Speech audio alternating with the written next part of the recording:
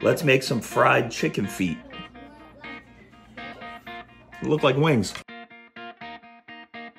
First thing we're gonna do is put these in very hot water. After 30 seconds of a slight boil, I can't with these. Let's trim some nails. Right at the first knuckle, and that'll pop right off. Boom. Pound of chicken feet, declawed. Two tablespoons of soy sauce, one teaspoon of salt, one tablespoon sugar, a little bit of garlic powder, and then we're gonna fill that to the top with water just to cover the chicken feet. smells great. We're gonna let this simmer for two hours.